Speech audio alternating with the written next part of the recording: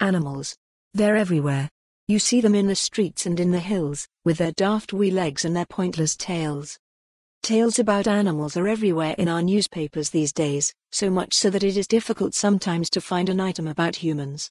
This week, we had the Boxing Day hunts, or faux hunts at least, where severe-looking people and their torn-faced hounds are pictured bouncing or scurrying along lanes, bringing entirely justifiable terror to the countryside. Many sensitive people find such pictures disturbing. They think the horse riders look insufferably pompous, which is undoubtedly unfair, if entirely understandable. It's a good rule to guide you through life, never trust anyone on a horse. Far-right activist Hermann Göring believed it taught the rider mastery over another human being, which was a bit odd as most people looked down on him as a fat turd.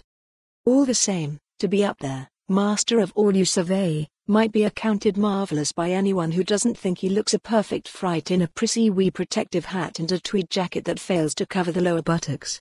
Sadly, having failed to evolve, the onward march of civilization has left the fox manglers on the brink of extinction, with almost all decent ratepayers in opinion polls welcoming their demise.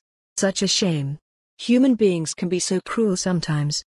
Speaking of ratepayers, decent or otherwise, and foxes, which are largely exempt from rates, a clash between these took place in rural London this week. In a case that the RSPCA is investigating, an alleged human, Jolyon Maugham, battered an alleged fox to death with a baseball bat while wearing a kimono, the human not the fox. To be clear, the kimono belonged to the man's wife. It was made of silk.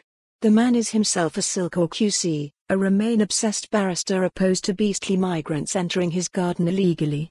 To be fair, he thought the fox was after his chickens. You townies just don't understand the reality of country life in London. And anyway, most of you will have done something similar over the festive season, though few would be so imprudent as to publicize the achievement on social media.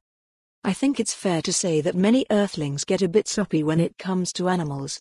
I've seen YouTube videos where people recount terrible things that have happened to them and, in the comments below, people say, but was the cat alright? These beasties are often referred to as fur babies and videos of them when young get hundreds of thousands of views, even though, while other animals do genuinely seem to be playing, the average kitten's every move mimics pouncing, slashing, eviscerating and killing. All together now, or. But I must admit I'm as soft and goo goo gaga as the next grown man when it comes to baby animals. And my attitude to cats is the same for more on this story, visit the news article link.